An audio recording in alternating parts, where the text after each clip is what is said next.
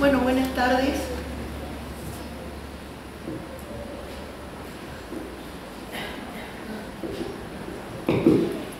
Nuevamente buenas tardes. Eh, eh, eh, muchas gracias por venir. Para mí presentar a la profesora Jane Ginsburg es realmente un placer y un honor. Y le agradezco muchísimo que haya querido venir a Buenos Aires a dar esta clase magistral y a las autoridades de la facultad por hacer que esto sea posible, porque la profesora viene de Estados Unidos, es profesora en la Universidad de Córdoba. Bueno, eh, eh, allí es titular de la cátedra eh, Morton Janslow de Derecho de la Propiedad Literaria y Artística, pero no se llama de, de, copyright, se llama de propiedad literaria y artística. Y en la misma facultad es directora del Centro Carnotan sobre medios de comunicación eh, enseña métodos legales, derecho de autor y ley de marcas y es autora o coautora de libros sobre todos estos temas. Em, eh, la profesora Ginsburg se graduó en Chicago y recibió el doctorado en la Universidad de Harvard y un doctorado en Derecho en la Universidad de la Sorbonne eh, en París eh, em, esto le da una excepcional visión y comprensión de ambas concepciones de la materia, la angloamericana del copyright y la eh, continental europea o latina o franco-germánica del derecho de autor. Es miembro de la Sociedad Filosófica Americana, numerario de la Academia Británica y miembro honorario del Emmanuel College de la Universidad de Cambridge. Es presidente del grupo estadounidense de la LAI, la Asociación Literaria y Artística Internacional. También tenemos un grupo argentino y varios miembros del grupo aquí presentes. Y también es vicepresidente de esta asociación. Eh, como dije, enseña métodos legales, copyright y marcas y tiene textos sobre estas materias eh, de enseñanza y con el profesor eh, australiano Sam Ricketson es coautora de International Copyright and Neighboring Rights, The Berne Convention and Beyond, publicado por, eh, en 2006. También es autora de otros libros como Fundamentos de la Propiedad Intelectual en coautoría con el profesor Marx, Em, Intellectual Property Stories en coautoría con la profesora eh, eh, Rochelle Dreyfus. Y con esta última y el profesor François Desmouty ha realizado un informe para la American Law Institute eh, sobre propiedad intelectual, es autora del proyecto sobre propiedad intelectual, principios aplicables a la jurisdicción y la ley aplicable en, controversias internacionales. Bueno, la profesora Guin también ha enseñado Derecho de Autor francés y estadounidense y método de casos y derecho de los contratos estadounidenses en eh, la Universidad de París y en otras universidades de Francia a las que asiste habitualmente, es invitada. Em, para quienes quieran tener un conocimiento actualizado del sistema del copyright estadounidense, las obras de la profesora Ginsburg eh, satisfarán ampliamente sus expectativas. Eh, e-, estas obras, sus obras, son siempre claras, didácticas y de un absoluto primer nivel doctrinal y proporcionan una visión acabada y profunda de la materia con un estilo muy accesible y cubriendo todos los temas de la materia. Escucharla es un privilegio y le hemos pedido a las, aunque la profesora entiende muy bien el español y, lo habla muy bien, este, em, hemos pedido la traducción simultánea y le hemos además pedido a las traductoras muy gentiles que eh, no traduzcan la palabra copyright, porque copyright y derecho de autor son la misma materia, pero no son expresiones e, exactamente equivalentes. Y con lo poco, digamos, a lo largo de la conferencia de la profesora Ginsburg, tendrán, los quienes no conozcan el tema, eh, acabadamente tendrán algunas indicaciones. Así que les hemos pedido a propósito que copyright, digan copyright, pero y no derecho de autor para no confundir, porque como ustedes ven es eh, copyright y especialmente el estadounidense. Gracias Jane por venir. Te escuchamos. Y em, si quieren ponerse los auriculares. Muchísimas gracias, colega. Es uh, un placer eh, estar aquí en la Universidad de Buenos Aires. Lamentablemente no soy capaz de seguir en castellano y entonces uh, agradezco a las traductores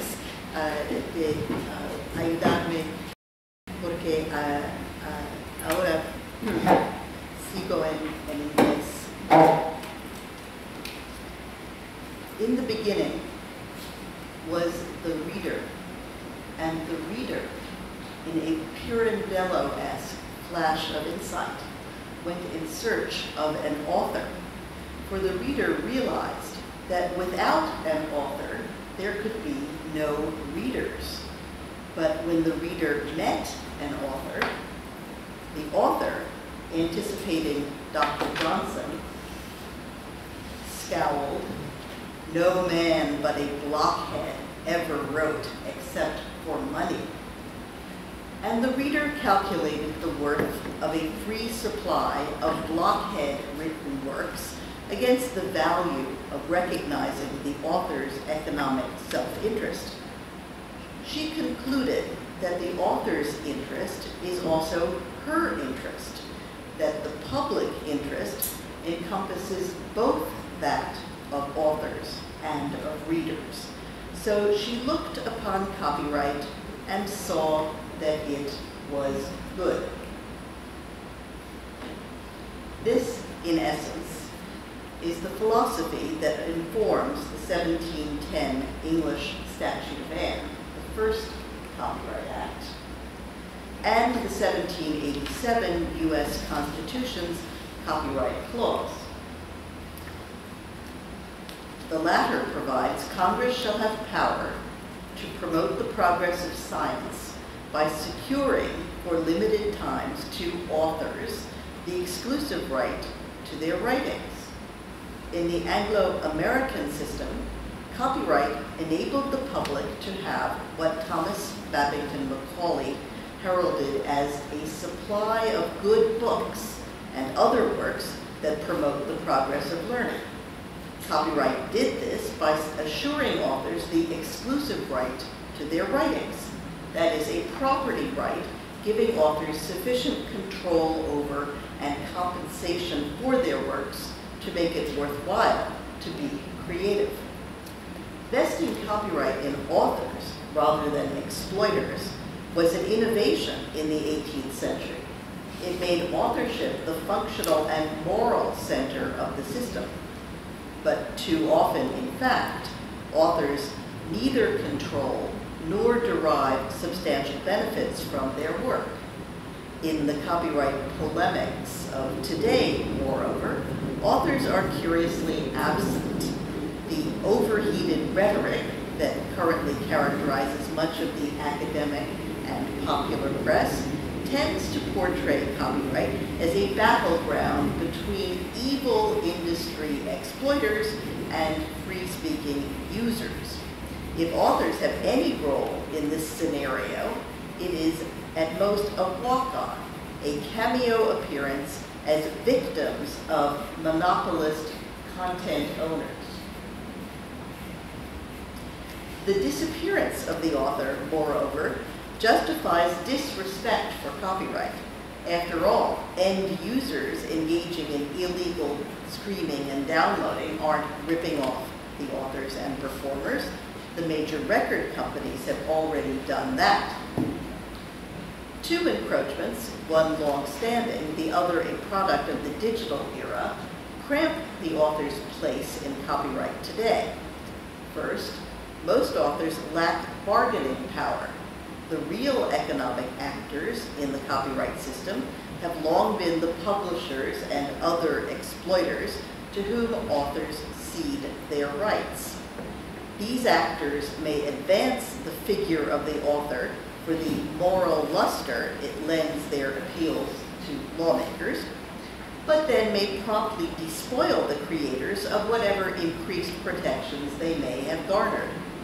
Second, the advent of new technologies of creation and dissemination of works of authorship not only threatens traditional revenue models, but also calls into question whatever artistic control the author may or should retain over her work. After reviewing these challenges, I will consider legal measures to protect authors from leonine contracts and measures in the marketplace to obtain compensation for the exploitation of their rights.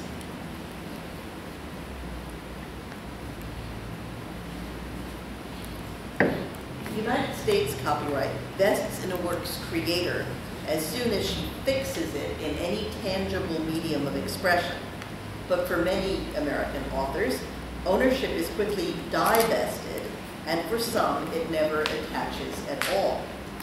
The latter group of creators are employees for hire, salaried authors who create works in pursuit of their employment, or freelancers who are commissioned to create certain kinds of works and who sign a contract specifying that the work will be for hire. An author who is not an employee for hire starts out with rights that she may transfer by contract.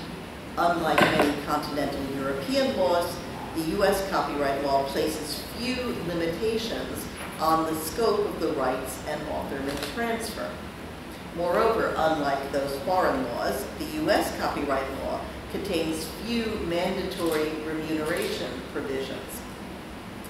Thus, it is possible for a U.S. author, quote, for good and valuable consideration, which could be the mere fact of disseminating the work, to assign, quote, all right, title, and interest in and to the work in all media now known or later developed for the full term of copyright, including any renewals and extensions thereof for the full territory which shall be the universe. I am not making this up.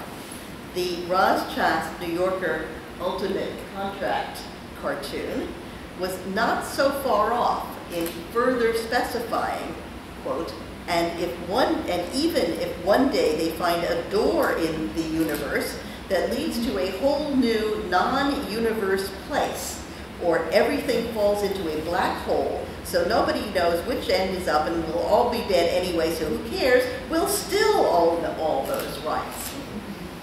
Worse, with one exception, this is a valid contract. The exception is not the extraterrestrial aspect.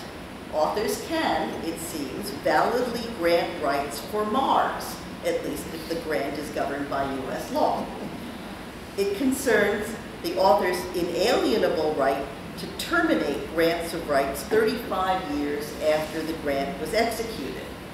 Thus, even if the contract purports to grant rights in perpetuity and for a lump sum, the author can nonetheless retrieve most of her U.S. rights 35 years after the conclusion of the contract. This is a very important but otherwise isolated U.S. legislative nod to authors' bargaining position.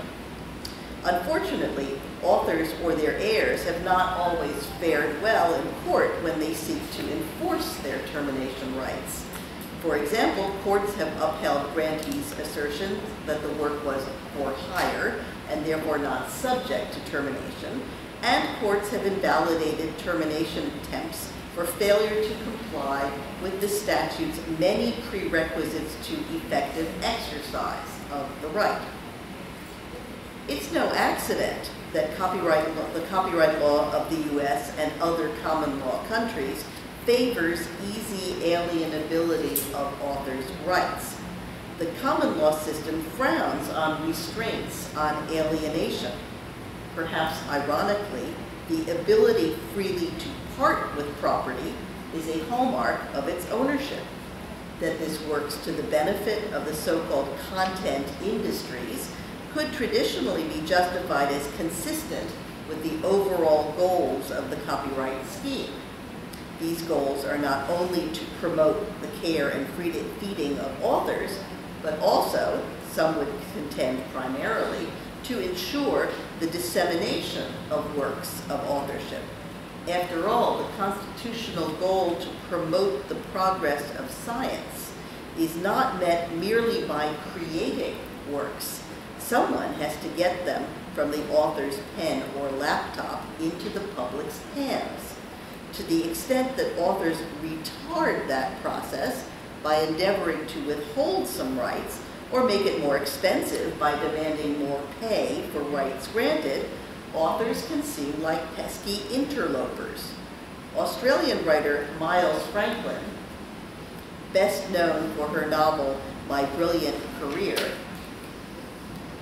captured this annoyance in Bring the Monkey, her 1933 parody of the English country house murder mystery. The conversation she imagined among members of Britain's budding motion picture industry anticipates what today's motion picture and television producers may have been fantasizing when the members of the U.S. Writers Guild went on strike a few years ago for a decent share of the income from new media platforms such as the internet. Miles Franklin wrote, they, the film magnates, were generally agreed that the total elimination of the author would be a tremendous advance. Authors, said this gentleman, are the bummest lot of cranks I have ever been up against. Why the heck they aren't content to beat it once they get a price for their stuff gets my goat. There was ready agreement that authors were a wanton tax on any industry, whether publishing, drama, or pictures. I understand your point of view, the film producer said suavely. That is why I want you to see my film. It has been assembled by experts in the industry, not written by some wayward outsider. And indeed, in the film, there was no suggestion of an author. Instead, the suave producer was listed twice as continuity expert and producer. A copyright law for continuity experts and producers, also known as reality television coordinators today, or as the French might more pithily put it, le droit d'auteur sans auteur. Now there is a vision to spur illegal downloading and streaming as civil disobedience. Let's strike a blow for authors by stealing from the corporations that fleece them.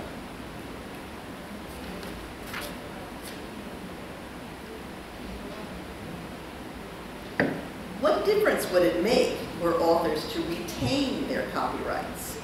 If it is easy to discredit copyright on the ground that authors have always served as a shill for large, unlovable corporations, would copyrights detractors rally to the cause of exclusive rights to control the exploitation of works of authorship were authors the true beneficiary of those rights? While authors' divestiture may enable copyright antagonists to unmask the corporate wolves who strut the moral high ground in the sheep's clothing of romantic authorship, I doubt that restoring romantic authors to their estates will in fact enhance the popularity of their property rights.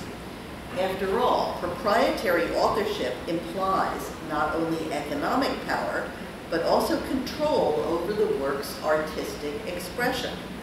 That, in turn, may rankle not only the apostles of remix, but also those who contest the concept of individual creativity in an environment that, as Peter Jaszi put it in the Paleolithic early 1990s, is making authorship an enterprise that is polyvocal, increasingly collective and collaborative.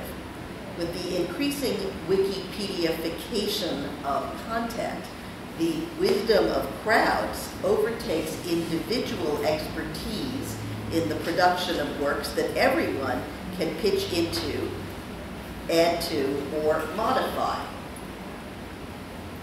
The advent of what I'll call the techno-postmodernist participant challenges proprietary authorship in two ways.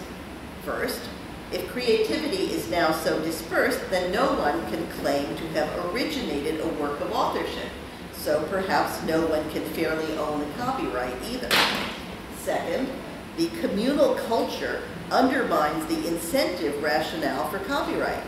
The internet may have topped up our supply of Johnsonian blockheads. In addition to poets who burn with inner fire, for whom creation is allegedly its own reward, and others, such as law professors, for whom other gainful employment permits authorial altruism, we now have internet exhibitionists, call them bloggers, and crowdsources, masses of incremental contributors whose participation, whether occasional or obsessive, belies the Johnsonian calculus. These creators supposedly do not need the carrot of exclusive rights in order to produce works of authorship. This, of course, is a very short-sighted view, for it describes motivations at a particular point in time. Filthy lucre may not have spurred the first endeavor. Many new creators hunger for exposure over income. But to remain a creator requires material as well as moral sustenance. We may cheer those who generously give their works to the public. We may pause, however, when they seek to impose that generosity on other authors' works. Moreover, just as copyright industries may cynically have appropriated the rhetoric of romantic authorship, so may technology interests convert calls for communitarianism to their own benefit. A pre-internet copyright exploiting technology furnishes an example. As French historian Laurent Pfister has demonstrated, the rhetoric accompanying the rise of the radio in the 1920s and 30s seems freshly ripped from a current blog according to one representative of the French broadcasting industry, and I quote, the moral claims of the community trump the selfish interests of authors who should be obliged to abandon their works so that they may be distributed to the collectivity. Authors' property rights reflect a spirit of individualism out of step with the times, the broadcaster contended and I quote, the author has moral obligations to the society which forms the cultural basis for his work. Society has the right to demand that he contribute his works to the cultural capital of the nation. Even then, however, a jaundiced commentator observed, it is pure Phariseeism to claim that the challenges to exclusive rights had the goal of spreading knowledge of works of authorship. They never had any goal or result other than to allow industry to profit from the labors of authors. I would like to suggest that today's counterpart or antidote to the romantic author, the techno-postmodernist participant, is also a shill for big industry the instrumentalization of the author or of the creative user still serves big business. It's just that the business consumes copyrighted works rather than produces them. In the welter of interested challenges to authors' property rights and their creations, we should not forget that copyright advances the concerns of the collectivity. It promotes artistic freedom and free speech by enabling authors to earn, or perhaps more often eke out, a living from their creativity. As Victor Hugo proclaimed at the International Literary Congress convened in 1878 to urge international protection for authors, and I quote, literary property is in the public interest. All the old monarchic laws have rejected and continue to reject literary property. To what end? In order to enslave. The writer who is an owner of his literary property is a writer who is free. To take his property away is to deprive him of his independence. So let's take seriously the proposition that proprietary authorship furthers the commonweal, that rather than suppressing speech, it advances it by providing professional creators with the prospect of earning a living. It promotes a diversity of expressions that might otherwise remain unvoiced. Poverty is a kind of censorship, too. Regarding authorship in the digital era, I doubt neither that the web vastly enlarges the number of people who commit acts of authorship, nor that digital media promote new kinds of authorship, from wikis to mashups to fanzines to kinetic graphics to blogs and beyond. Professional authorship will nonetheless persist, I believe, whether because we still value individual genius, eh, or because not all readers will want to be participatory all the time. Recombinant and instant authorship may or may not be passing fancies. Professional authors will still be with us. Moreover, professional authors will be joined by a host of newcomers, for example, as bloggers become novelists or write book-length nonfiction or simply persist in their online endeavors. At least, professional authors will remain so long as the writing and other creative trades furnish adequate remuneration. The question for the future of copyright and for the author's place in it is how to make those incentives meaningful for creators.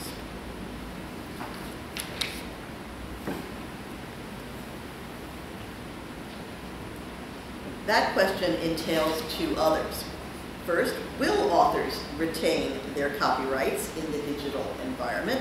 Second, even if authors are copyright owners, will they be able to avail themselves of business models that succeed in reaping meaningful remuneration despite wide-scale, unauthorized, and unpaid use of their works? Some of the same factors that today cause copyright to be derided may also come to the aid of individual authors. The technology that brings works directly to users' computers and personal portable devices no longer requires traditional publishing's infrastructure of intermediaries. Techno-postmodernism notwithstanding, maybe every reader is not truly an author, but every author can be a publisher. At least every computer-equipped author can make her work directly available to her audience via the internet. But availing oneself of the means of distribution is one thing, making a living from the works one distributes is another, particularly when the media that empower authors also empower users to acquire and disseminate works for free. Moreover, not every author or performer will want to self-publish. Many will prefer the assistance of distribution intermediaries, such as book publishers and record producers, to attend not only to the production and distribution with authors and performers, which authors and performers might now do themselves, but also they might want publishers and other intermediaries to provide the credibility, publicity, and most importantly, the advances that come from signing a publishing contract. But must that contract signing also condemn the author to the Ross-Chastain bargain evoked earlier? While with the exception of the termination right, the United States Congress has not sought to redress the imbalance of power between publishers and most authors, other countries' legislatures, particularly in the European Union, have. The French law on authors' contracts, including recent amendments to the regime of publishing contracts, warrants wistful contemplation as an example of how a copyright law might endeavor to ensure that authors either retain their copyrights or receive fair compensation for their alienation. The French Code of Intellectual Property safeguards authors against leonine transfers in a variety of ways. In addition to mandating that publishing contracts, performance rights contracts, and audiovisual production contracts be in writing, the law further requires that each right granted be distinctly specified in the contract and that the scope of the grant be defined with respect to its purpose, its geographic extent, and its duration. As a general rule, authors are to receive royalties rather than a lump sum payment. Amendments to the statutory provisions on publishing contracts introduced at the end of 2014 further detail authors' rights in print and digital editions of literary works. These modifications seek to ensure that publishers will in fact exercise the rights that authors grant them and fairly account to authors for the fruits of those exploitations. Failure to publish the work within a certain time or to pursue the exploitation of the rights in a consistent manner or to reissue a book that has gone out of print will result in reversion of print or electronic rights to the author. The new provisions require the grant to distinguish print from digital editions and impose additional author protections with respect to digital editions. Notably, the contract must guarantee authors just and fair remuneration for all the revenues deriving from the commercialization and dissemination of digital editions. In addition, contracts granting electronic rights must include a clause providing for periodic review of the economic conditions of the grant. An accord between associations of authors and publishers will determine the frequency of the review and will provide guidelines for dispute resolution. The law also promotes the development of digital editions because a grantee who fails to disseminate a digital edition within the time set out in an accord between associations of authors and publishers will lose those rights back to the author. Moreover, as to contracts concluded before the law's effective date, the law empowers authors two years thereafter to demand that the publisher produce a digital edition. The publisher's failure to do so within three months following proper notice results in reversion of the digital rights to the author.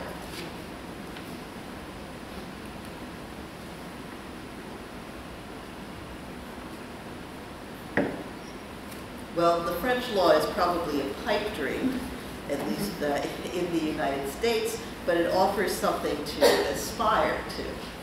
Now, suppose on the other hand that authors, instead of granting their rights to publishers, retained their rights, uh, what might the future look like for authors' exploitation of their own works?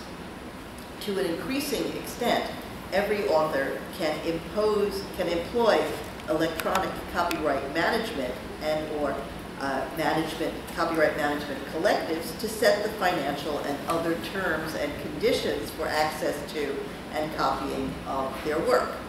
Or, more rudimentarily, authors can make the work available without technological restraints and appeal to user generosity, though as Radiohead and Stephen King discovered, passing the hat may prove a precarious strategy. In other words, nobody paid. Nonetheless, some variations on pass the hat may succeed. Under pay what you want models, the user selects the price he is willing to pay. Pay what you want, however, may disadvantage lesser known creators since the desire to pay may decrease with the celebrity of the beneficiary. As one commentator put it, pay what you want can work where there is a fair-minded customer, strong relationship with the customer, a product that can be sold credibly at a wide range of prices, or a product with low marginal cost. Even then, generosity does not always abound, neither in the proportion of users who pay nor in the amount expended by those who do pay. Freemium, a hybrid free access, paid access model, which allows access to the bottom tier of content for free, but charges per unit or by subscription for more or better content, or for content without advertising, offers another approach for authors self-financing on the internet. The model has perhaps encountered its greatest success with digital phone applications. The content provider hopes to attract a large number of free users and convert a percentage of them to premium users. The freemium model typically begins as a loss leader until enough users become premium users to turn a profit. Its success thus depends on attracting and retaining customers and efficiently developing and marketing the premium content. Following its unhappy essay with Pass the Hat, Nine Inch Nails experimented with a freemium model for its album release of Ghosts 1 through 4. In conjunction with the release, the band proposed a number of different packages to consumers, including offering the first nine tracks of the album for free on their website and through BitTorrent. Premium packages ranged from $5 for a full album download to a $300 ultra deluxe package, including CDs, vinyl LPs, they're back, and signed prints. Within the first week, lead singer Trent Reznor made over $1.6 million on the release. Like Pay What You Want, however, this approach may primarily benefit creators, and especially performers, who already enjoy a substantial fan base. But the scheme can apply more broadly, at least to recording artists. For example, Bandcamp, a music streaming and download website, allows artists to develop their own freemium pricing schemes. Artists upload their music and choose whether to price it free, pay what you want, or for a fixed price. As a practical matter, the future of copyright for professional authors is likely to depend on the development of consumer-friendly payment and protection mechanisms. Free distribution can, of course, enhance the author's fame, but if the author cannot capitalize on her fame by exploiting her copyrights, then she will not have made much progress. A starving artist's garret is still a garret, even if the address is well known. I am not sanguine about the non-copyright alternatives, most of which involve giving the copyrighted work away as a loss leader to get consumers to spend money on something else whose supply the author can control. This is sometimes called the Grateful Dead model. I sell my song for the song, but make you pay real money for the t-shirts that allow you to express your affection for my band.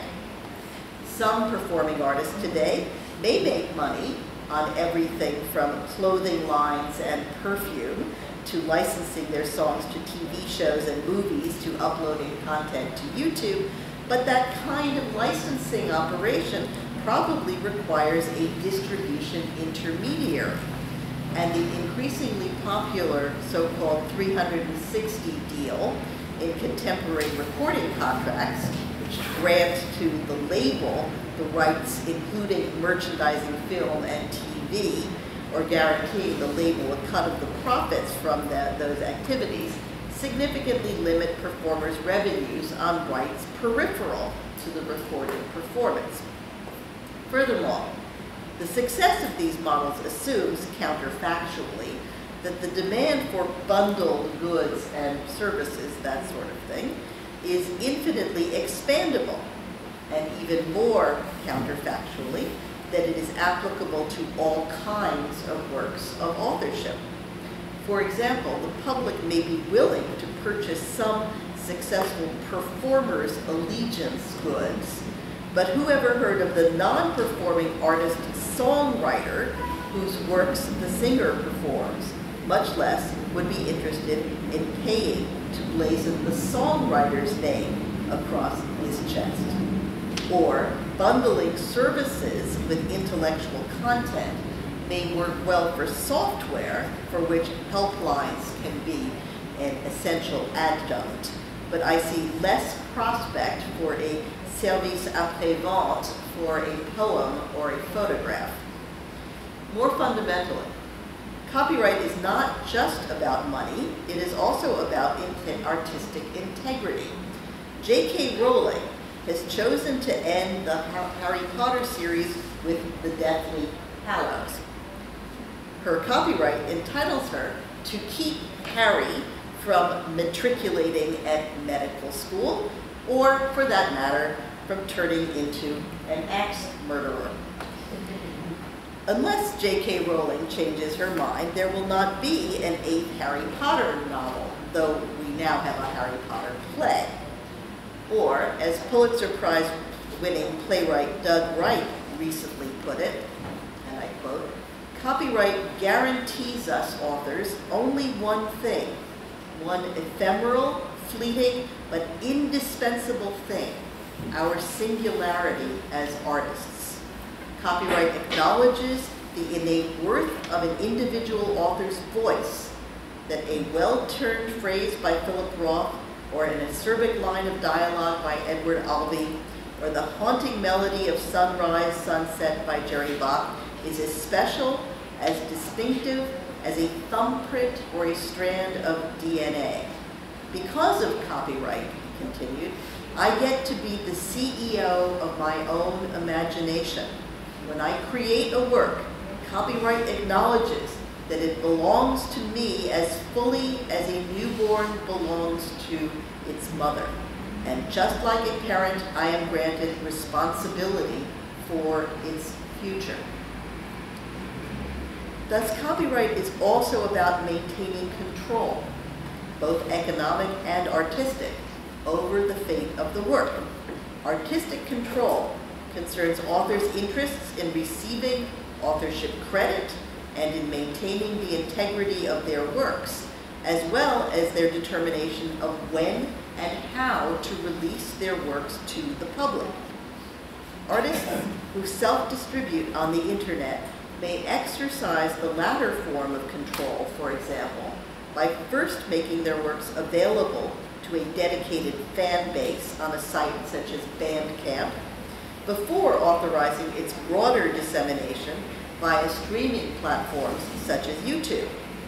Whether or not such strategies yield creators more money, the power to decide whether, when, and how to bring one's work to the public is both one that copyright has long secured and one of considerable importance to creators, including in the online environment. As for the moral rights of attribution and integrity, some other developments suggest that the web may not create an ineluctably hostile environment for these interests. For example, attribution and integrity clauses have long characterized licenses in the open source software community. Creative Commons offers a means to self-distribute over the internet and preserve authors' moral rights, attribution, and integrity. The default CC license requires attribution of authorship, and the author may also choose to include an ND, no derivatives, uh, icon, which might serve to instruct users not to alter or modify the work. It is no accident that over 75% of the photos posted to Flickr bear the Creative Commons NC, non-commercial, and ND, no derivatives icons. Creators, even amateur creators, indeed sometimes especially amateur creators, can be very possessive about their work. They may be willing to make it available for free, but they don't want other people making money off it, and they don't want other people changing it. But CC licenses a company works distributed online for free. For authors who seek to earn a living from their work online, the absence of a CC payment mechanism may pose an insuperable shortcoming. A Creative Commons licensed work may help introduce an author to her audience, but at some point a professional author needs to be paid. Authors who self-distribute on the web thus may face the prospect of respect for their names and their works, but without remuneration. In effect, if not intention, Creative Commons proclaims that money is nothing and reputation is everything. If CC imported, uh, implemented moral rights come at the price to authors of unpaid distribution of their works, then the overall endeavor of authorship becomes devalued. Authors' moral rights claim underscore their dignitary interests, but particularly in our society, money and dignity are closely intertwined. Returning to payment then, some major streaming services share advertising revenue with creators.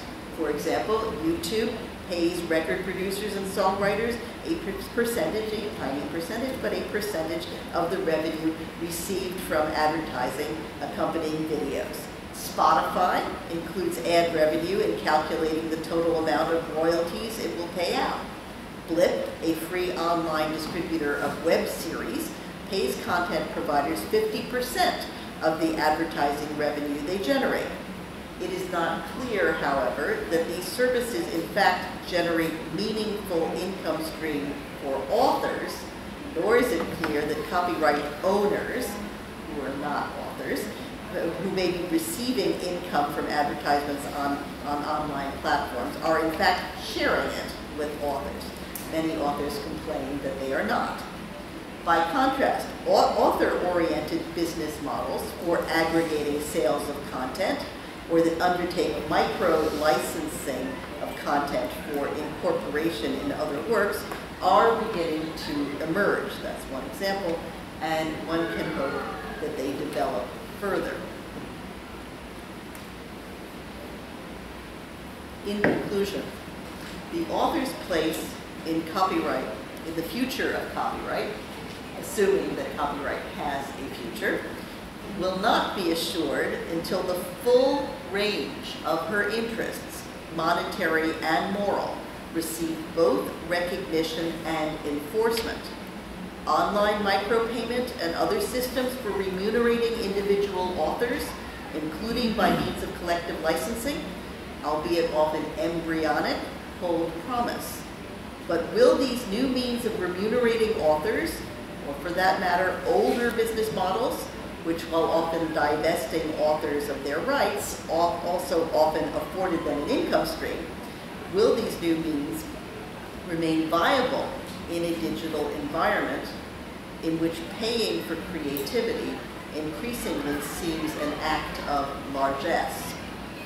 Innumerable author blogs attest to conditions too parlous to permit the luxury of unpaid intellectual labor most fundamentally, we need to appreciate authorship and to recognize that a work in digital form is a thing of value, less the old adage that information, meaning works of authorship, quote, wants to be free, presage works of authorship that don't want to be creative.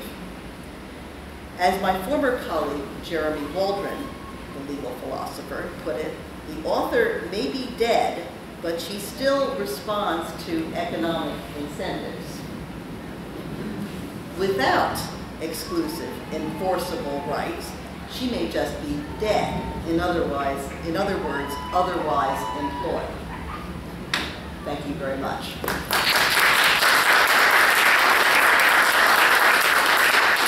Bueno muchísimas gracias eh, Jane eh, la visión de la es sumamente interesante porque coincide mucho la, la problemática en que se presentan los autores actualmente es universal, evidentemente.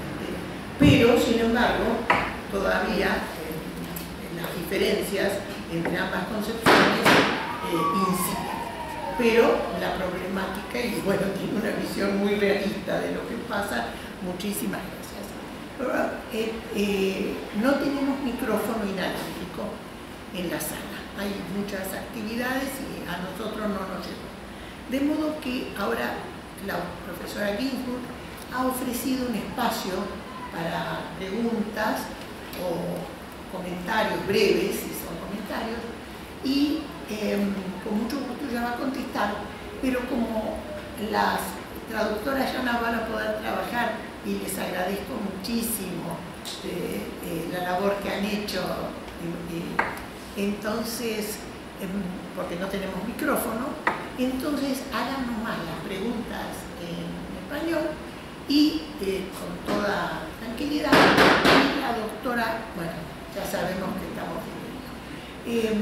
Eh, la doctora con toda eh, eh, va a contestar porque ella entiende el español, como lo y es así, y va a contestar también en español y bueno, Lo va a contestar. eh, si lo mezcla un poquito con italiano no lo vamos a entender igual, pero este, vamos a tener que ir sin micrófono.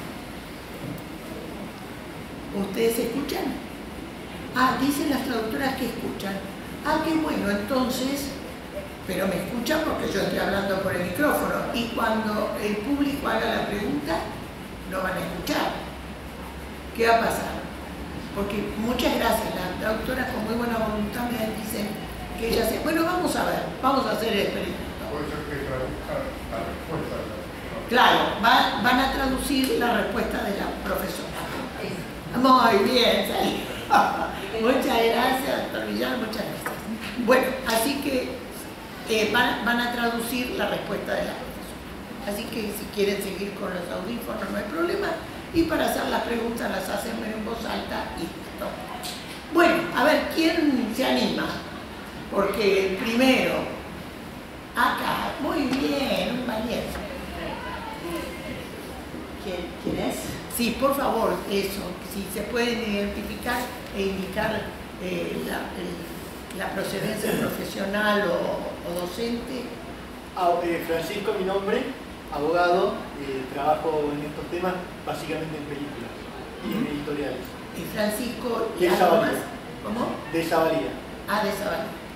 La pregunta es, usted siempre habla del autor como una persona individual, como un genio creador, pero el tema es que, sobre todo por ejemplo donde yo trabajo, películas, no siempre es un- una sola persona y muchas veces es un grupo grande de personas.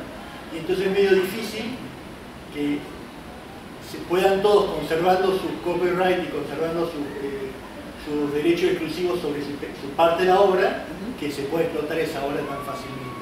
Entonces, ¿qué solución hay para eso? Voy a probar en castellano. Si, ah, ah, tengo ah, demasiada dificultad, voy a cambiar en, en inglés. Es verdad que ah, todas las leyes, también en, en los países de derecho civil, de derecho de, au- de autor, verdadero derecho de, autor, hay modificaciones para el cine, porque hay demasiados autores y es necesario organizar la explotación de la, la obra ah, porque ah, hay una persona, el productor, ah, que, que tenga la, capa- la capacidad de, de explotar sin demasiado o- otras para interfere, ah, Interferencias. interferencias. Pero am, aún en estos casos hay una gran diferencia ah, entre el sistema en los Estados Unidos, por ejemplo, y el sistema, por ejemplo, en Francia o en, en- en Europa, no conozco la, la ley. Um, en los Estados Unidos eh, uh, las películas son las works made for hire, que quiere decir que el, crea- lo- el que cree no cuenta por nada, no tiene ah, ningún derecho porque ah, el estatuto de work made for hire quiere decir que el productor tiene ah, el título de, autor, según la, ley. Eh, en Francia, por ejemplo, los contribuidores, el, el- el director, um, Sí. ah, el compositor lo, eh, que escribe el escenario, El guionista. Guionista. no. El, que escribe el escenario. Sí, el guionista. guionista, ok. Eh, quedan autores, pero hay un, una sesión presuntiva al, al productor para la explotación de la película como película. Ah, eh, los ah, contributores quedan con los otros derechos. Por ej- ah, ejemplo, el guion ah, puede publicar sí mismo o con un editor ah, un, un libro ah, basado su, ah, su escenario. Ento- entonces no, es una sesión total ah, ah, al, ah, al- al productor. Hay otra diferencia más práctica, eso es en los Estados Unidos, teóricamente los, los autores, los creadores, no tienen ningún derecho, pero existen las guilds, esos los, los sindica- sindicatos Sí, los sindicatos de, de directores, de actores, de, De escritores. de escritores que tienen mucho poder colectivo. Y um, no, no tienen muchos derechos respecto um, a la uh, explotación, pero tienen muchos derechos respecto al um, talento. uh, Ah, eh, respecto a la recaudación, después de que se de cuánto de dinero to- toca. Ah, eh, y ah, hay autores franceses que dicen que el derecho mor- moral es una cosa tan hermosa, pero el dinero es ah, aún más eh, hermoso y, y entonces el sistema en los Estados Unidos no es tan feo porque paga mucho más. Sí, pero además, si me permitís eh, un agregado, en Estados Unidos eh, hay una parte del derecho moral en la industria cinematográfica con la que no tienen problemas, que es el de reconocimiento del nombre Por contrato. por contrato. No, pero no por la ley. no por la ley, porque el derecho moral no está reconocido legislativamente, salvo para obras, desde 1990, obras eh, pictóricas, artísticas, en, y muy limitadas. Pero, muy, muy limitado, pero no está, lo demás no está. Pero la industria cinematográfica, creo yo, que lo que quiere es tener las manos, la- lo- las majors de Estados Unidos quieren tener las manos libres para hacer lo que quieren con el film. Es decir, el derecho de integridad es lo que ellos no quieren, pero con el derecho y además cobran mucho porque después, aparte de lo que cobran, gracias a los este, aranceles que tienen fijados por convenio colectivo de trabajo con los distintos eh, colectivos, como dijo la profesora, escritores, etcétera, eh, tienen unos aranceles posteriores por cada pasada en los cines y en la televisión muy buenos. Y por eso los autores franceses dicen, sí, nosotros tenemos derecho moral, pero ellos cobran mucho. Y además tiene una excelente distribución. Eh, Pero eso de- sería lo de menos, porque la distribución buena y toda la plata que entra, eso no cuenta. Será en Estados Unidos, pero los convenios colectivos de trabajo no se, no rigen fuera. Esa es otra diferencia del sistema del copyright con el sistema este, del, del, eh, del derecho de autor. Sí, ¿Cómo, cómo decir playwright? ¿cómo, perdón? Ah, playwright. Autor Lo que de es- escribe autor dramático. El autor dramático, sí, dramaturgo. Dra- ah, ah, el autor eh, dramático que ah, cité en la ponencia ah, ah, escribe también ah, para el cinema, el cine y pa- para el teatro. Y dice que per, ah, ganar dinero escribe para el, el cinema, pero para el arte escribe, escribe para el teatro. Muy buena, muy buena. Eh, es en, en el teatro que es- este autor ah, man- mantiene muchísimo control sobre su, su obra. Mantiene todo el control sobre su obra, porque como tú dices en la ponencia, no es solo el derecho de controlar eh, cómo se usa, sino eh, el control de, digamos, el derecho básico es a controlar cómo se usa y a disponer qué se va a hacer con la obra y dónde se va a usar. A ver, ¿alguna otra pregunta? Y aprovechen, el doctor Fernández Ballesteros siempre decía, cuando alguno nos tocaba hablar y él era su eh, director adjunto de la OMPI para cooperación, siempre decía, aprovechen porque nunca más van a tener la oportunidad de que les, tal el expositor de turno les conteste gratis. Entonces, aprovecho porque no sé si van a tener oportunidad de poderle hacer preguntas y, bueno, y esto. Y, y- no se vinieron preparados.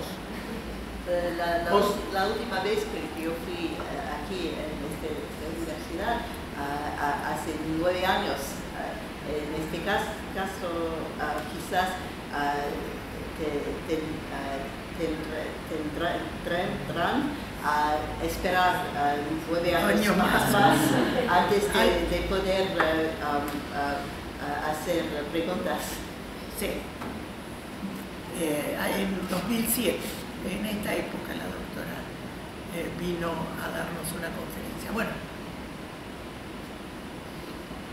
vamos a, a ver, aquí hay. Um, Act Co- eh, no, ¿Cómo es su nombre? Martín. Martín, pero no tienen apellido ustedes. Van Santer. ¿Cómo? Van Santer. Eh, es, eh, estudiante Sí. The Copyright Act No, puede, eh, puede hacerla en español. Ok. Eh, la ley de copyright permite el uso de contenido as fair use, eh, cuál es eh, the extent fair use. En mi curso de, de copyright ah, pongo um, cuatro semanas a explicar fair use Ah, y eh, eh, es bastante difícil ah, explicar en, en ah, 30 se- segundos. segundos. Eh, el fair use e- es la excepción mayor en el derecho de, de autor de, de los Estados Unidos ah, que es diferente de las excepciones en ah, la mayor parte de las otras leyes sobre el derecho de, autor, porque ah, en la- las otras leyes nacionales las excepciones son puntuales, son específicas. La excepción de fair use es muy amplia y general y es una apreciación del, caso por caso ah, y por eso es difícil explicar. Es una técnica de la common law porque los ah, elementos de hechos son muy importantes. No es una aplicación de una teoría, eh, es la aplicación de- de muchos hechos y ah, la apreciación de los jueces cambia. Ah, hemos visto um, en los, um, las últimas semanas dos sentencias que limitan um, mm, un poco la, um, la, la amplitud de la, de la, de la ex- excepción, pe- pero es una excepción um, todavía muy, muy amplia para responder a, a- a los cambiamientos ah, técnicos, tecnológicos ah, y también artísticos. Un ejemplo, en los Estados Unidos eh, y sin duda en otros países hay un corriente artístico que se llama appropriation art. No sé, no sé. Eh, es un arte, eh, el arte es ah, robar, Apropiarse. apropiarse ah, las obras de otros artistas ah, y cambiar más o menos las obras de otros artistas para, para vender los cuadros con, con las, las- las obras copiadas. Ah, y eh,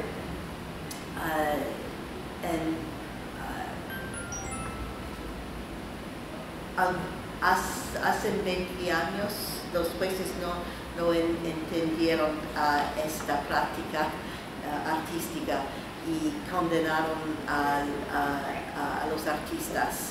Eh, más recientemente los jueces am, ah, han ah, entendido mejor ah, y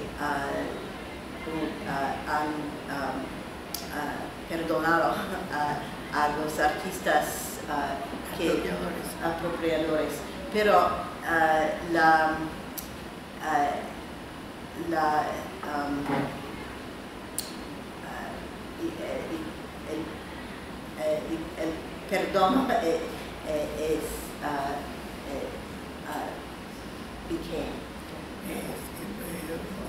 Resultó, resultó tan amplio que los jueces ah, han dicho hace cuatro semanas que ah, necesitaba am, ah, que el artista que, que roba que tiene ah, que la, la materia roba- robada ah, haya una función artística ah, al interior de, ah, de la obra del apropiador. No, no es suficiente robar sin crear alrededor de- del contenido roba- robado. Es, es una explicación complicada, complicada va, es para decir que fair use es una cosa, es como, como la- las ondas, eh, las ondas que, de- de- del mar que, que, que van, eh, que, que salen, que... Van y vuelven. sí. Eh, y esto, esto que, que estás comentando, puede ser una consecuencia de esta visión tanto más eh, amplia o tanto más este, eh, condescendiente con los, que se apropian. Puede ser una influencia de lo que tú durante tu conferencia has llamado la tecnoposmodernización o tecnoposmodernidad, porque Ah, esto se hace sí. todo el tiempo en Internet. Ah, el, el discurso de ciertos de estos artistas es que la originalidad no es más, ah, que eh, todo, toda creación ah, no es una verdadera creación, es una recreación de, ah, de cosas que, existe, que todavía existen. La verdadera creatividad no existe. Ah, y, por eso es normal ah, crear robando, robando a, a- los otros porque ah, tú no eres verdadero creador, yo no soy verdadera cre- creadora. Ah, eh, ah, existemos en, en un mundo eh, donde todos tienen que compartir, pero no es verdad, porque el compartir quiere decir tú tienes que compartir conmigo, yo no tengo que compartir contigo. Eh, este eh, el artista en, ah, una sentencia muy conocida era ah, alguien que ah, ha robado a un fotógrafo su obra, no, no pagaba el fotógrafo, eh, pero el ah, artista ha, vendido sus cuadros ah, por, por um, muchos millones de dólares. Quindi el, el fotógrafo tenía que compartir, pero el, el pintor no compartía. Claro, tal cual. Y nosotros aquí está muy bueno esto. Claro, nosotros tenemos una sentencia eh, bastante antigua, antigua quiere decir, no, no recuerdo, pero debe ser los años 80 o 90, donde los jueces le han dicho a un plagiario, que sería eh, este tipo de gente, eh, le han dicho que la creación artística no significa sacar algo de la nada, que eso es Dios, que sacó algo de la nada, que los seres humanos siempre usan elementos que existen. Entonces, lo aclaró perfectamente, no recuerdo cómo se llama, cuáles son los autos, pero está muy bien dicho y es bien conocido. Crear no es crear en, en este sentido, sacar algo de la nada, sino siempre se usan elementos conocidos, pero todos sabemos distinguir cuando los elementos que existen se usan de una forma leal para algo nuevo o para un plagio burdo o disfrazado. Y esto es lo que hace esta gente, plagiaria. ¿Y cómo? Aleph bordado. aumentado. No entiendo. El Aleph aumentado. el Ah, el, no, el bordado. Aleph aumenta. Bordado. Acá hay un caso que eh, se llama el caso del Aleph eh, engordado. Eh, de- eh, bueno, eh, no sé cómo engordado. el fa- Faten. Sí. Fachen- Eh, yes. El, el Aleph es una obra clásica, un- una short story clásica de Jorge Luis Borges. Entonces, un, un autor que tiene estas ideas de que se puede usar y hacer una obra, tomó ese texto y le agregó todo lo que él quiso, lo engordó. Entonces, la justicia eh, le dijo que no, que eso no se podía hacer, que eso era punible penalmente porque era la, la reproducción no autorizada de la obra ajena. Y es así, esa, no se puede mejorar una obra o engordar. Para, cuando la obra está en dominio privado, hay que pedir autorización, pero la gente quiere hacer lo que quiere, no, no quiere atenerse. En nuestro país, yo creo que en todo el mundo, pero en nuestro país especialmente, eh, es como que existe el deporte nacional de la transgresión. Es una opinión mía, porque yo veo que la gente transgrede como, como si estuviera librando una, una batalla por la libertad. Y es una batalla por robar libremente. Transgredir es avanzar sobre el derecho del otro, sobre el derecho de la comunidad, porque somos, es una opinión particular, eh, creo que en la Argentina, a diferencia de otros países, pero ya vemos que en materia de copyright no, porque contó un caso de, de Estados Unidos y toda una corriente de Estados Unidos, pero en general, muchas veces yo tengo la impresión de que los argentinos pensamos, porque casi las personas, salvo Jay, somos todos argentinos, claro, y está Enrique Verdades, que es peruano, este, em, bueno, pero digamos que hizo, estudió acá, medio le- le- tenemos la impresión de que transgrediendo nos va mejor que cumpliendo la ley. Bueno, esto se ha generalizado con algo que es tan fácil de, apropiarse como son los bienes inmateriales. Con los bienes con mi cartera también me la quieren sacar en la calle, pero yo peleo, la defiendo y por ahí me voy al otro mundo por defenderla.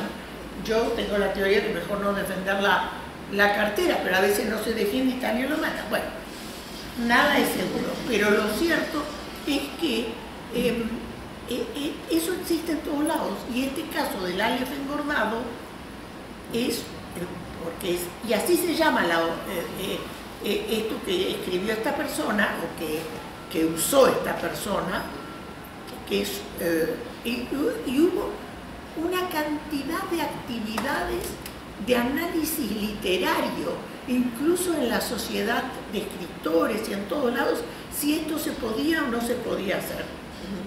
Es, algo realmente como la gente, cuando tiene ganas de hacer algo, hace cualquier cosa para justificarlo. Bueno, ah, en este momento existe una teoría que, así como Jane habló de la tecno-posmodernidad, existe una teoría sobre la posverdad. Bueno, ahí estamos. Eh, Alejandra, Alejandra Hugo. Sí, eh, bueno, muchísimas gracias, me encantó escucharla, Jane. Una pregunta, yo quería saber respecto de las excepciones a los derechos de autor, conociendo en profundidad el sistema de fair use comparado con eh, el sistema de excepciones caso por caso, ¿cuál le parece el mejor sistema? Sí, que se fue, se fue, ¿no? No se puede contestar en el abstracto, porque fair use es un producto, producto de un, cierto, um, una cierta manera de, de pensar, una, manera de la, de la ah, que no se, se, se- puede proyectar en un sistema ah, donde los juristas no son formados a este tipo de, ah, ah, de razonar, de razonamiento. de razonamiento. Ah, pero en los sistemas de derecho civil existen eh, excepciones específicas, pero también amplios.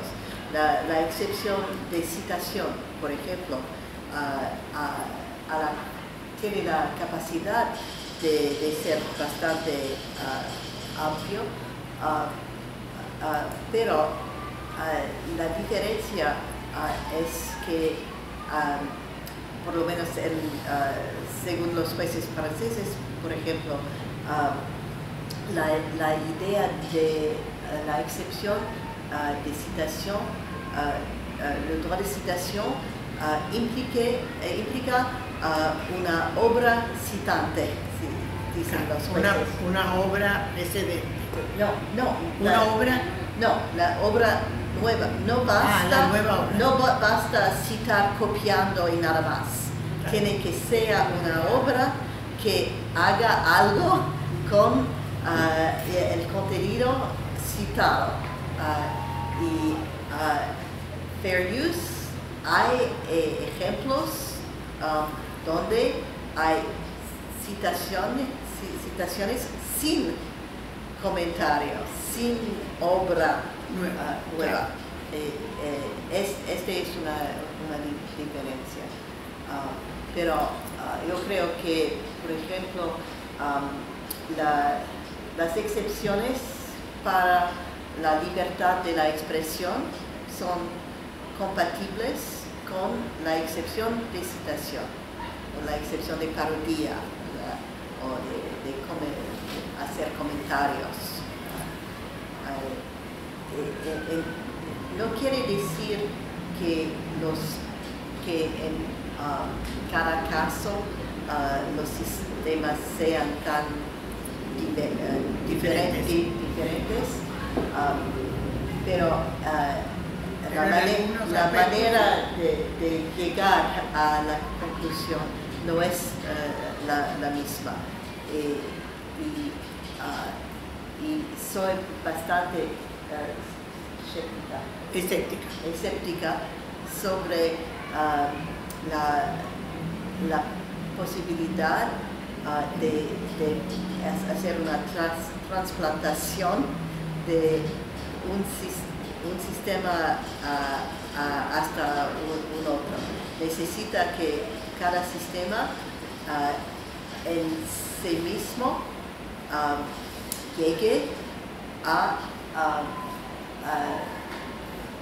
hacer la compatibilidad entre la protección de los autores y la libertad de eh, expresión, porque ah, la, libertad de expresión, según yo, quiere decir la expresión de un otro autor. Son- hay dos autores y hay el, autor, el autor original, el primer autor, y el segundo autor que quiere trabajar con la obra del primer autor. Eh, eh, la, la dificultad es de saber ah, ah, hasta, hasta ¿Hasta qué punto? qué punto el, el autor segundo puede, ah, no, no digo robar, robar, puede ah, apropiar ah, elementos del autor ah, primer para crear, crear su propia obra que, que no es la misma cosa que el, um, eh, el usuario postmodernista que, que no crea, que, que, o que, no crea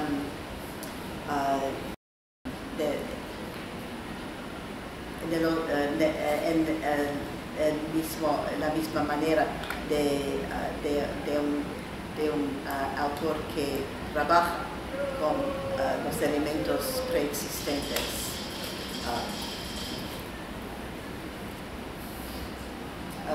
Coligar, digo que coligar citaciones, coligar ah, elementos copiados de, muchas obras es una manera de ah, difundir la información, pero no es la misma cosa que crear algo.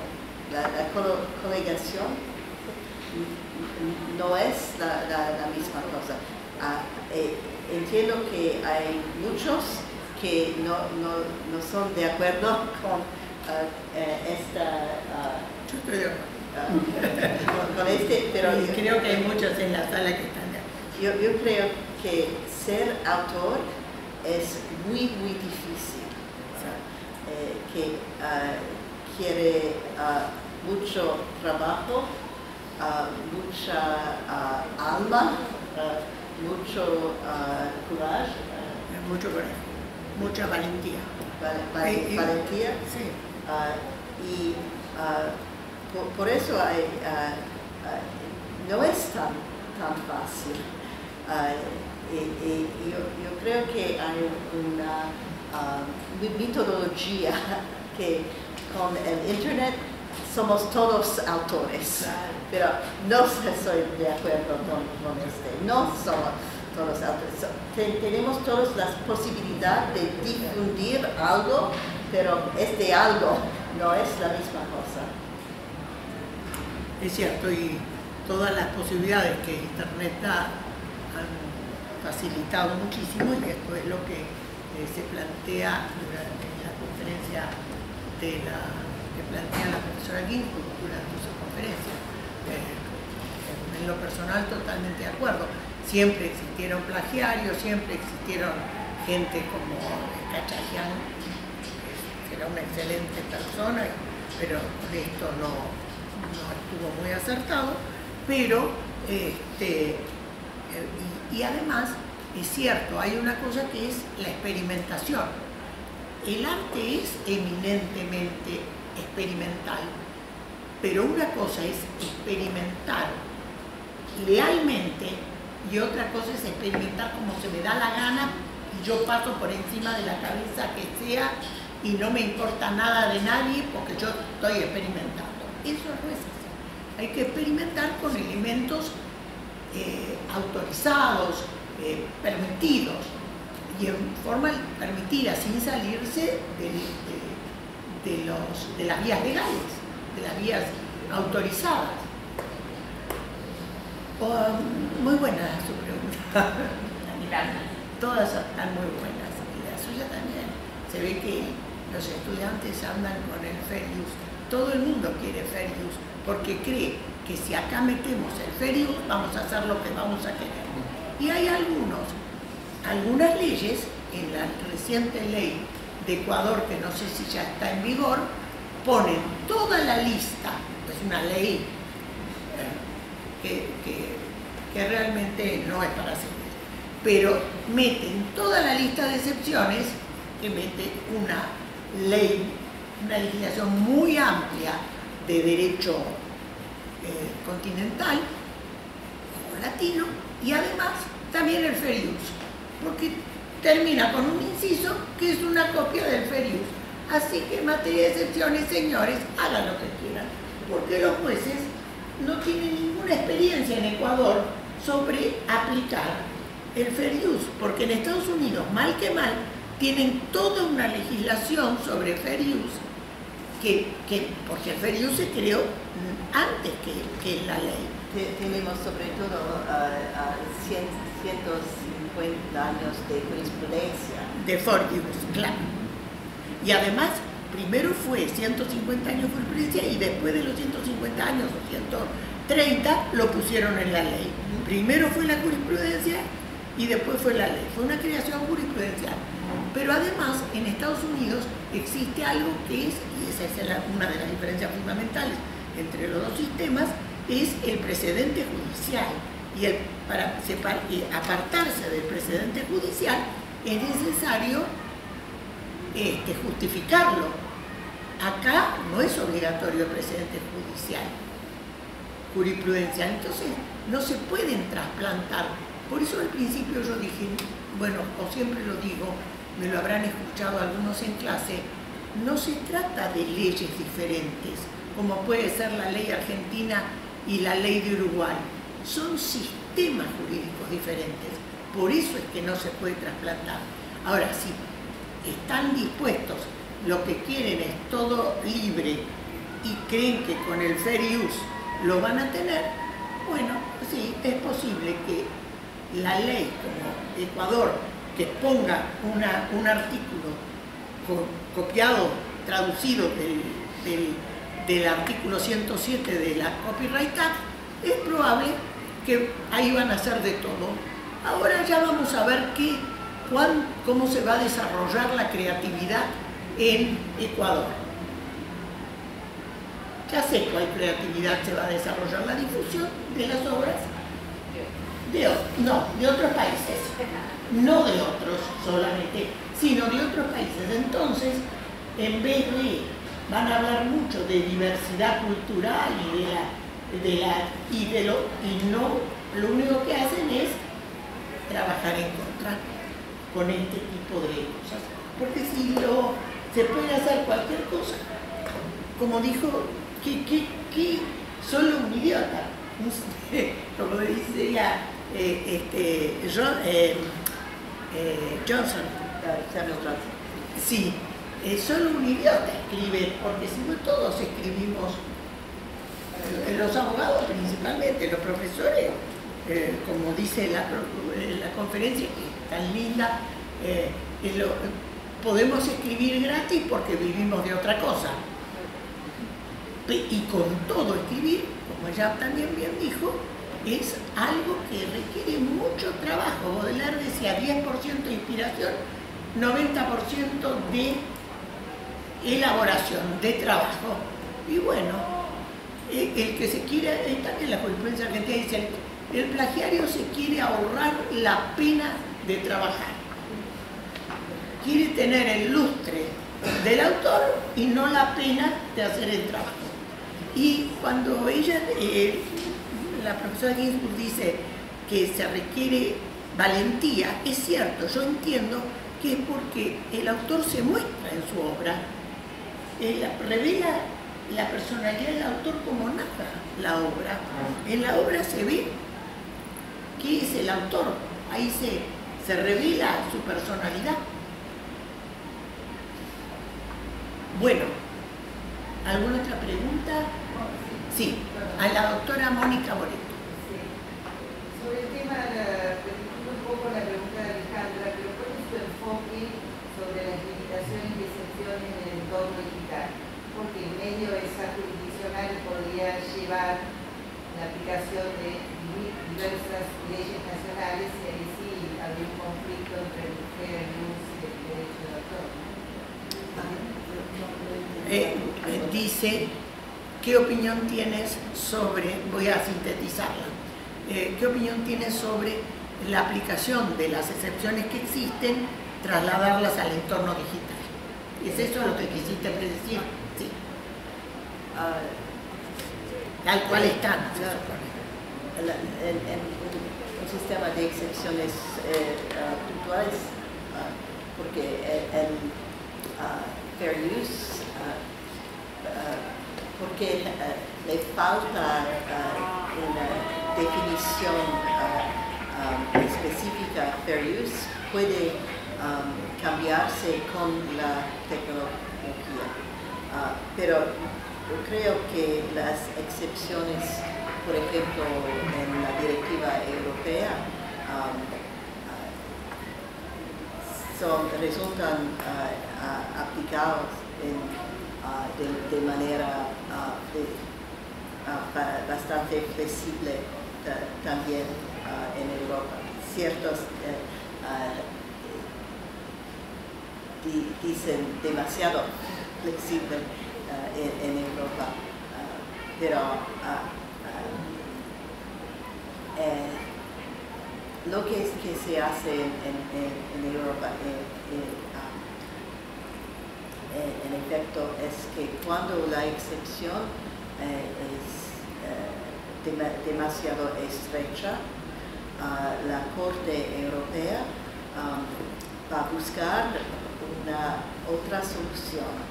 Y ah, ah, la manera de, de, raz- raz- razonamiento ah, ahora eh, es, es, es- estos días de la Corte Eu- Europea eh, es de ah, a- hacer el equilibrio entre dos derechos fundamentales, el derecho fundamental del autor, ah, la propiedad, propiedad del autor y ah, la libertad de expresión, que es una otra, otro derecho fundamental.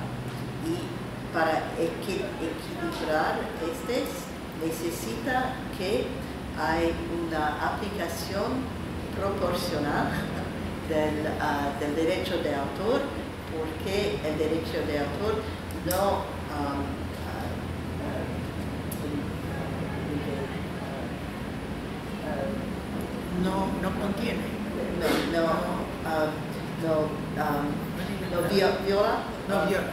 no viola la, el otro derecho funda- fundamental. Es, según yo, este es un, modo, eh, una, mane- una man- manera de ah, razonamiento mucho más abstracto ah, y ah, sin sin límites comparado con el fair use, que hoy día la Corte Europa ah, eh, es, diría, peor respecto a, las jurisdicciones americanas, um, porque esta proporcionalidad ah, eh, falta totalmente de definición, eh, de previsibilidad, respecto a- a- aún respecto a, a, a.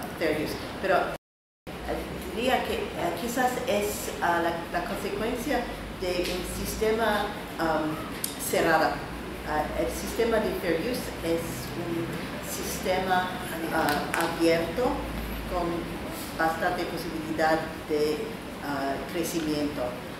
El sistema europeo es, no, no obstante el derecho de la citación, eh, es un sistema cerrado y entonces la Corte va a buscar un, una sali- salida.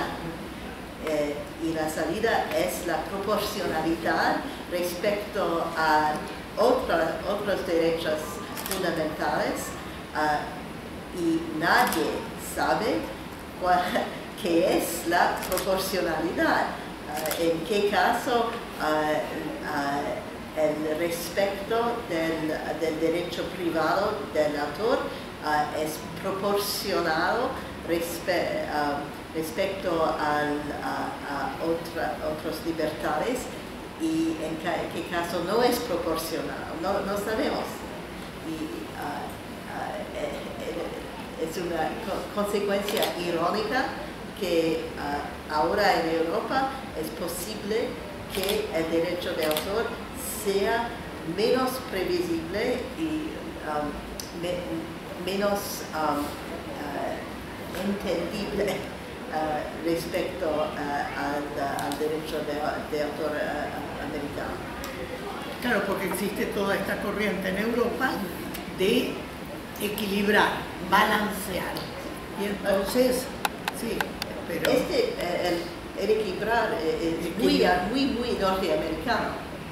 No es muy, muy ah, europeo. pero los profesores en Europa eh, que no son muy autoralistas, que son una cosa distinta, eh, este, hablan todo el tiempo de balancing, es decir, equilibrar, balancear.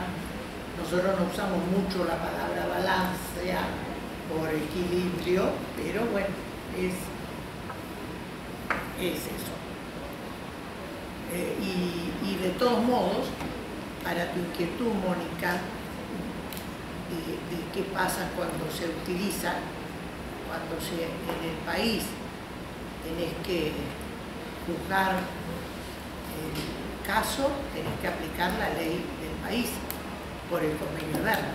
Sí, el artículo 5, pero el tema de la directiva 29 de 2001, el artículo 5, cuando regula las excepciones al derecho de autor en el entorno lo- el Tribunal Europeo, en cada caso, ha hecho cosas diferentes. Sí, es verdad. decir, hay una nueva interpretación, me parece a mí, en el marco del derecho europeo, mucho más flexible de lo que era en el entorno analógico. Sí, Es la, verdad. la Corte crea mu- mucha flexibilidad ah, por ah, el medido de la proporcionalidad y también al interior de las excepciones, porque la Corte dice que el- los derechos exclusivos tienen que ser aplicados eh, de, manera, fuerte, pero que las excepciones tienen que conservar sus sentidos para, para que la, excepción conserve su sentido quiere decir limitar el, de- derecho ah, exclusivo también cuando ah, la, excepción no parezca ah, evidentemente aplicarse. Eh, entonces la, Corte está ah, poniendo más flexibilidad ah, en un texto ah, relativamente limitado. Ah, es una técnica que algunos han criticado, pero es una técnica, sobre todo diré, diría, para responder a, la, la realidad tecnológica, que ah, necesita que ah, ah, el, derecho de autor pueda responder a la realidad tecnológica. puede ser que la respuesta sea demasiado amplia, pero es una técnica para para permitir a la ley de, de evoluar, Evoluciona. eh, evolucionar. ¿Alguna otra pregunta? ¿Comentario?